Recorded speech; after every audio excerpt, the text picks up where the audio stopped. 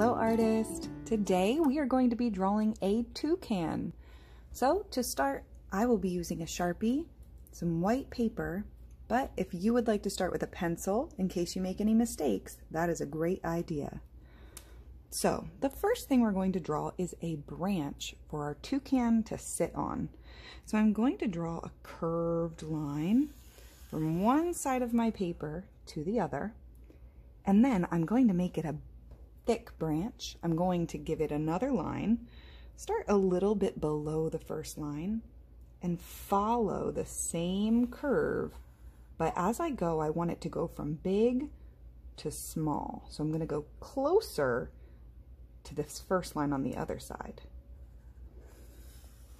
It's okay if your branch gets a little bumpy like mine did because branches aren't completely smooth. Now let's start on our toucan's body. I'm going to draw the top of his head and his back. He's going to look away. So I'm going to start with a backwards, kind of like a letter C, and end it at my branch. Then I'm going to draw the front of my toucan's body. I'm going to give him a little bit of a belly and then kind of like a neck right there. It's not exactly like the letter S, but it's a little curved line. Then from one line to the other, I just want you to close his face. And then we're going to draw his big beak. We're going to come forward from the top and then hook it down however long you want it to be. If you want him to have a longer beak, you could keep going and then hook it down even further. Then we are going to come down to where we have the connection line, where his neck is, and go up towards our beak. And we want to give him a way to open his mouth. So I'm going to start halfway in from my beak and then draw a straight line to his face. Now my toucan is going to have a stripy beak Usually toucans have a black tip on their beak, so I'm going to give him that. And I can color that in right now with my Sharpie. And then I'm going to add those stripes. So I'm going to start at the top of my toucan's beak and come to the bottom and then close that stripe by giving it a line very close to that first one. And I think I want another stripe farther back, so the same thing just two parallel lines. There we go. Now, where is our toucan going to look at us from? An eyeball. So I'm going to draw a big circle and then I'm going to draw a smaller circle inside of that.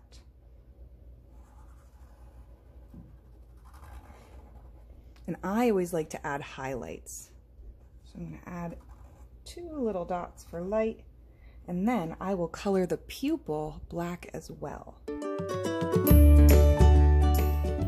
All right, my friends, now toucans are usually black and they have a white spot around their eye. So we are going to draw the white spot. You start up at the top of his head and make sure you come between the back of his head and his eyeball. And then you start to curve down with the eye and you want to make it like a drop of water and then come back to the front of his face where the beak is. Very good. All right, we're going to add his tail and he's sitting on this branch. So his tail is going to come out from the behind the branch. I'm going to add the bottom of his tail first so I know it doesn't run off the paper. And then I'm going to do lines kind of like the letter C, and then a backwards letter C, so that it looks like it's underneath my toucan, connecting the bottom of his tail. The last thing we need is some feet so that we know he is sitting on this branch. So I'm going to draw some two little curved lines at the top of my branch. And then I'm going to do some zigzaggy toes. Okay, I think my toucan is done, but my background is still a little boring. So let's add a branch.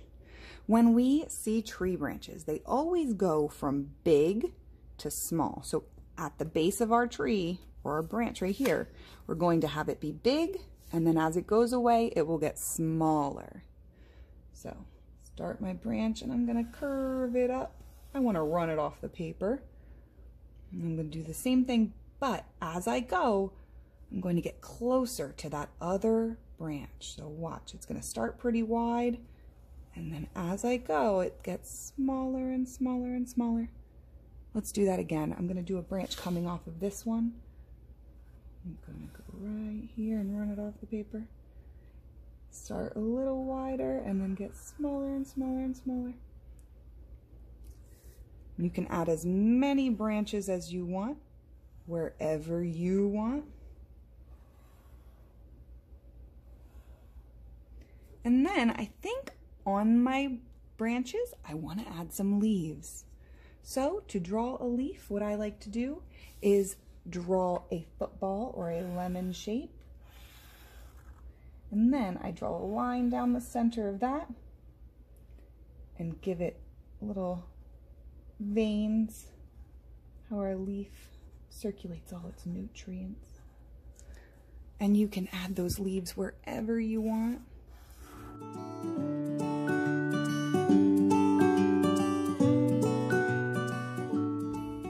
All right, boys and girls, what do you think? I really like the way mine looks. And now it's ready for toucan. color. So I am going to start with a black crayon and I'm going to color the body of my toucan black. I'm going to leave his eye white.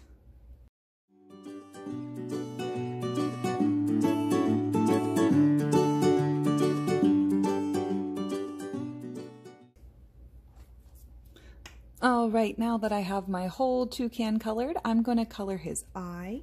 I think I want to use a nice green color for his eye.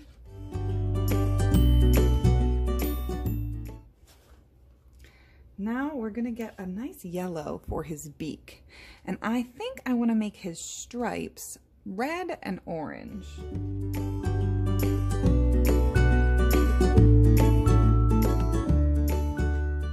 All right, and the last thing we're going to do is we are going to color our tree and our leaves. So you can choose any colors you want for those. I think I'm just gonna choose some regular tree and leaf colors, some brown and some green.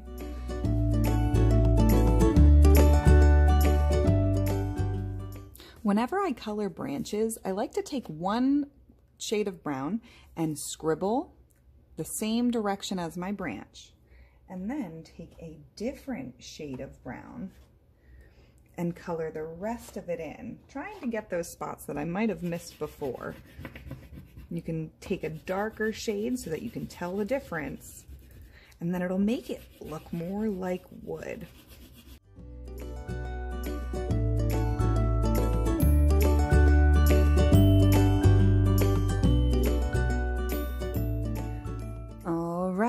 And for our background, I think that I want to paint my background blue like the sky. But if you don't have any watercolor paint, you can use a blue crayon or marker to do the sky background. Today I am using watercolor. So whenever I use watercolor, I just take my brush and dip it in the water. I put the water in the color that I want to use. Today that's blue. And I tickle it a little to wake it up.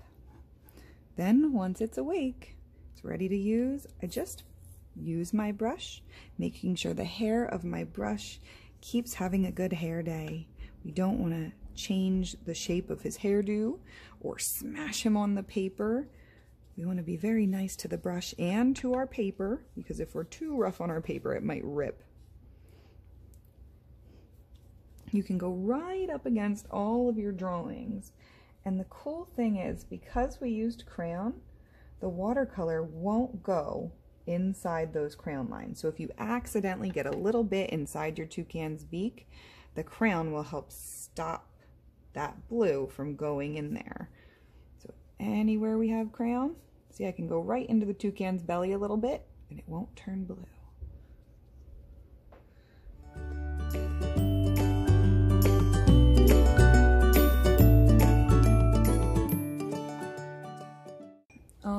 Right, boys and girls, I think mine's done. What do you think? I hope you had fun. Bye.